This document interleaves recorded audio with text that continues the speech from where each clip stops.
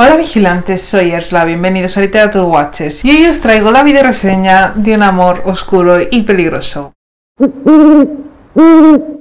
Dentro de unos 300 años, el mundo será dominado por los vampiros. El rey de los vampiros mirará a los ojos a Evelyn, la protagonista de esta novela, y dirá: Me he enamorado de ella, quiero vivir con ella, casarme con ella y tirármela todas las veces que me dé la gana. Y por lo tanto, voy a por ella. Y en eso consiste la trama de estas dos novelas. En esta primera parte es una historia bastante vacía, con unos personajes bastante inocuos, planos y con falta de dinamismo. Y la historia en sí tampoco tiene mayor complicación. Es un chico que quiere una chica la chica no lo quiere a él, quiere a otro, entonces pues hay un conflicto claro de, intereses. Es un poco difícil hablar de esta novela porque la historia carece de absolutamente de argumento. Es una chica que no quiere a un tío que sí la quiere a ella y ese tío tiene más poder del que ella es capaz de manejar y se las tiene que ver con él. Se producen escenas de violación, tras violación, tras agresión física, psicológica y de todas las formas posibles. Porque al fin y al cabo es un intento de erodizar una relación tóxica. Aparte de eso, aunque lo intente a lo largo de la novela y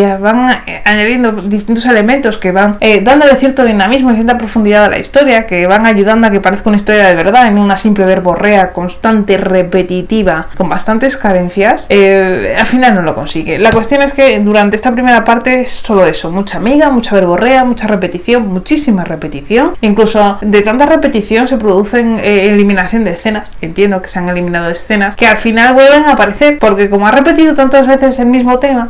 Se le tiene que quedar algún trazo, algún rastro de esa escena que ha desaparecido. Y va repitiendo todo desde el principio, va acumulando. A cada capítulo va rememorando todo lo que ha pasado en el capítulo anterior y en los anteriores. Entonces es, muy cansina. En esta segunda parte da la sensación al principio de que va a intentar retomar desde una perspectiva nueva eh, la historia. Sin embargo, lo único que hace es darle continuidad. Es más de lo mismo a la primera, mucho menos de la parte realmente interesante, de ese añadido, de ese extra que le da un trasfondo, una trama, un argumento, eh, va desapareciendo a lo largo de las páginas, se van añadiendo elementos nuevos que tienen mucho más que ver con esa faceta telenovelesca y con esa mm, necesidad de, ensalzar una relación romántica tóxica. Eso va haciendo que la, la historia se vaya agriando cada vez más, se van sucediendo esas escenas, como digo, de violencia, de agresión. La protagonista parece que retoma un poco el autocontrol. es una protagonista que a lo largo de toda la biología lo único que hace es eh, repetirse un mantra constantemente. Lo único bueno que tiene la novela es su negativa a ceder, pero por lo demás no tiene nada. Todos los argumentos y los hilos que empieza a desarrollar quedan absolutamente obnubilados por el final. No tiene ni pies ni cabeza, no está conectado con nada, sale de la nada y termina en nada. Todas las mil páginas que te has llevado antes, en las últimas 60 páginas, quedan anuladas. En definitiva, tiene unos personajes muy planos, tiene un montón de clichés, no desarrolla absolutamente ninguno de los argumentos que da, tiene un montón de buenas intenciones, argumentos que son propios del buenismo, pero no profundiza en ninguno de ellos, queda todo muy superficial, muy puesto para intentar darle ese trasfondo, esa impresión de ser una novela más allá de las simples escenas eróticas. Y no sé, me parece un enaltecimiento de la agresión sexual muy exagerada. Es todo muy gratuito, muy necesario, incluso la historia en sí, la novela, no tiene mucho sentido. Incluso la parte que tiene más jugosidad, que es de todo ese conflicto de los seres humanos dominados por los vampiros, la libertad de los humanos, etcétera, etcétera, ese argumento es totalmente innecesario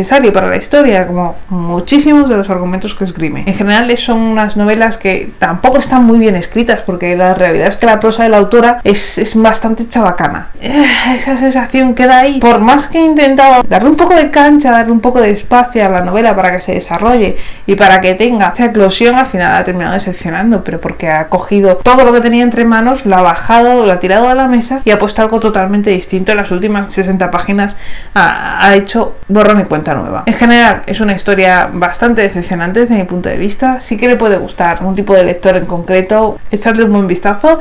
Aseguraos de que os mola ese tipo de novelas. Ida por ello si os apetece, pero personalmente creo que es un tiempo que podéis invertir en otras novelas mucho más interesantes, con mucho más contenido y que os van a transmitir muchísimos eh, valores mucho más entretenidos y mucho más importantes que estas novelas. A pesar de todo lo que envuelve a la historia y todo el desarrollo que ha tenido la, la novela, yo creo que al fin y al cabo es una autora que tiene algo de potencial porque se ha conseguido escribir mil y pico páginas de historia, que haya gente que esté pendiente de saber qué va a pasar al final, es que ha conseguido distribuir bien los puntos de clima, aunque sean en un contexto bastante pues penoso. Pero ha conseguido dar con la estructura adecuada para que el lector se mantenga pendiente y esté atrapado en la ordidumbre de la trama, aunque esta no exista. O sea que algo de potencial tiene que tener la escritora. Sin embargo, esta historia no me parece que valga nada. En definitiva, si habéis leído estas novelas, os animo a que dejéis abajo vuestras impresiones. Y nada, espero que os haya gustado el vídeo y nos vemos en el próximo.